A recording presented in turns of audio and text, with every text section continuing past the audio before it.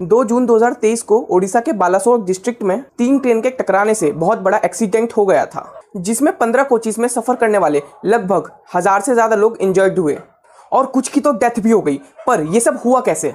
क्या इसमें गलती रेलवे मिनिस्टर की थी, क्योंकि उन्होंने ट्रेन में कवच सिस्टम नहीं लगवाया, जिससे ट्रेन का एक्सीडेंट रोका जा सकता था, या फिर गलती ट्रेन चलाने वाले लोको पायलट और ट्रेन के सर्वर को मैनेज करने वाले लोगों की थी? सब कुछ जानेंगे इस वीडियो में। साथ में ये भी बात करेंगे कि जिनकी डेथ हुई है, उनके परिवार वालों को कितने रुपए दिए जा रहे हैं, कितने लोगों की डेथ हो चुकी है और इतना सब होने के बाद भी पॉलिटिशियंस कैसे इस सिचुएशन को भी एक पॉलिटिकल एजेंडा बना रहे हैं। So let me help you understand what exactly may have unfolded remember this is a developing story investigation is still on but here is the information we have right now there are supposed to be these four lines a loop line where the goods train was halted there is a main line a main line and then a down loop line as well on the loop line where the goods train had been halted Coromandel express was coming it was supposed to get a green signal that it did get for the main line. But for some reason, according to the interlocking system, it had been put on the loop line.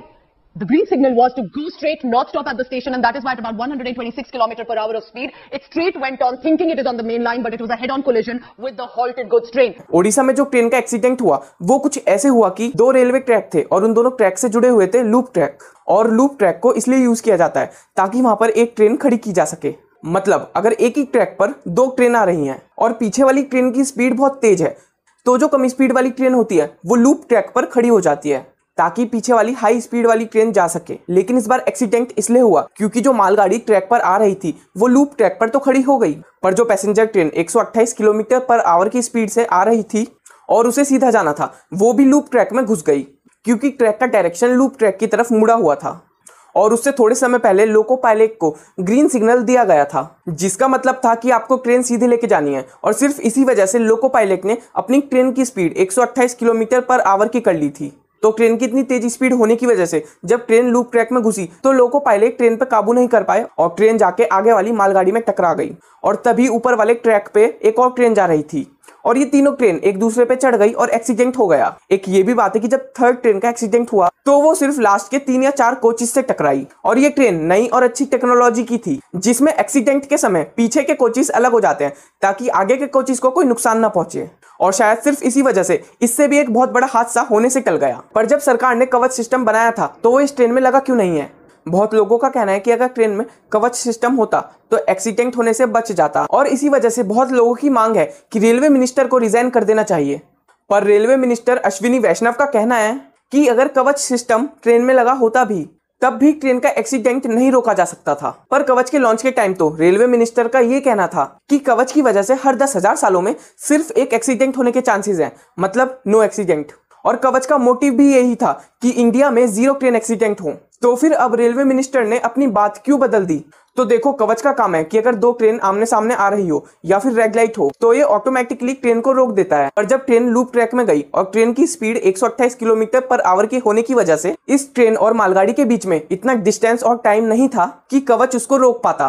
पर ये सारी बातें सिर्फ़ इसलिए हो रही हैं क्योंकि ट्रेन में कवच सिस्टम नहीं था। और अगर ट्रेन में कवच सिस्टम होता तो शायद ये एक्सीडेंट टल भी सकता था। तो रेलवे की ये एक गलती तो है कि सारी ट्रेन में अभी तक कवच सिस्टम क्यों नहीं है? 2021 में 16,000 से भी ज़्यादा एक्सीडेंट सिर्फ़ ट्रेन की वजह से हुए हैं जैसे कोई ट्रेन के बीच में आ गया या फिर ट्रेन से नीचे गिर गया।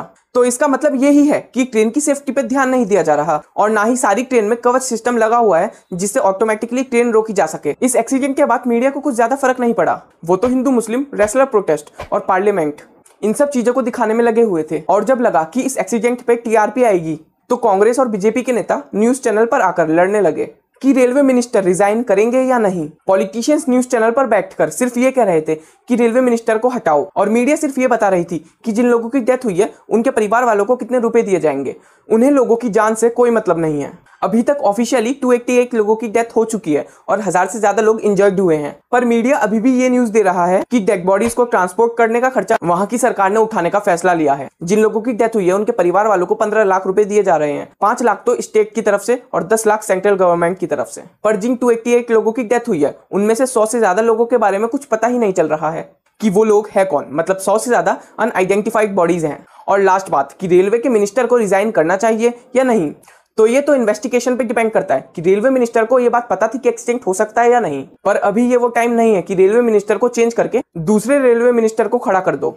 क्योंकि अभी जो लोग ट्रेन के नीचे दबे हैं पहले उनकी जान बचाना और फिर ट्रैक को सही करवाना ताकि ट्रेन दोबारा चल सके ये ज़्यादा इंपॉर्टेंट है। और फिर जब ये सब चीज़ें ठीक हो जाए फिर बाद में इस चीज़ पे सोचना चाहिए। एनसीआरबी की एक रिपोर्ट के हिसाब से पिछले 10 साल में 2.6 लाख डेथ सिर्फ़ ट्रेन एक्सीडेंट की वजह से हुई हैं और 2012-2013 में एवरेज 25,000 के करीब डेथ ट्रेन एक्सीडेंट से हुई थी।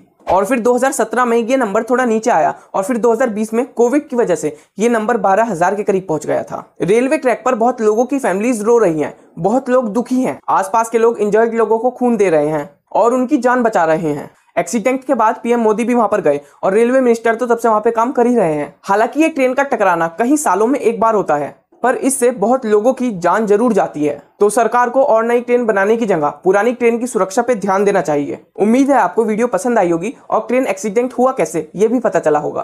पूरी दुनिया की बातें, अपने देश की बात, दूसरों के बिज़नेस की बातें एंड बड़े बड़े लफड़े और कॉम्प्लेक्स टॉपिक्स को समझने के लिए इस चैनल को सब्सक्राइब करो।